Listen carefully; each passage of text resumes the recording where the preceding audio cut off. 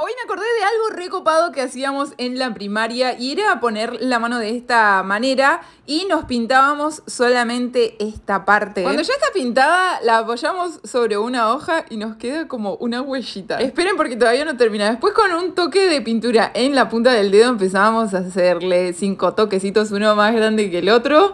Y ahora con la otra mano, yo acá cambié de color, lo quise hacer de amarillo y vamos a hacer el otro piecito. Y lo mismo hacemos con la punta del dedo, cinco manchitas, una más grande o una más chiquita que la otra, no sé cómo quieran decirlo. Y miren chicos, se hacen unas huellitas de bebé súper tiernas y súper fácil.